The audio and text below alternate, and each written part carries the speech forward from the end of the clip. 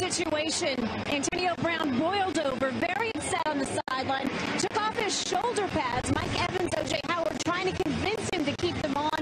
Obviously, they were unable to do so. He tossed his shoulder pads, stripped off his shirt and glove, threw those into the crowd, and ran across the field while the teams were still on the field, giving the crowd a peace out sign. I'll let you know when we hear something official on his status. Thanks.